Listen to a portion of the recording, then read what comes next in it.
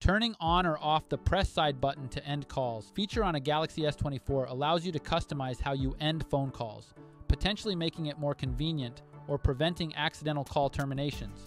Here's how to do it. First, tap the home key to return to the home screen. From the home screen, swipe down from the top and tap on the settings icon. In the settings page, scroll down and tap on Accessibility. Next, scroll down and select Interaction and Dexterity. Then, tap on Answering and Ending Calls. Scroll down to the last option and tap on Press Side button to end calls. Tap the toggle button to switch this feature on or off.